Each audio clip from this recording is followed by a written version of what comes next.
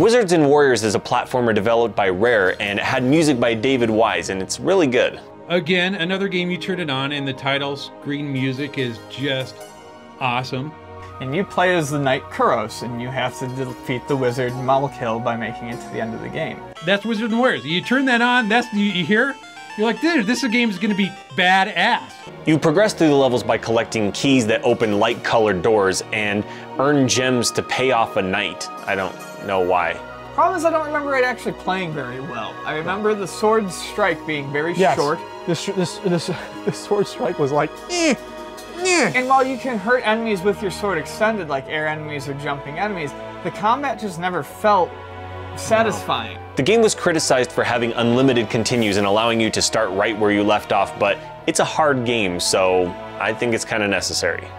So Wizards and Warriors, there were three released on the NES. Probably best known for the sequel Iron Sword having a nice shirtless Fabio on the cover. Mm-hmm.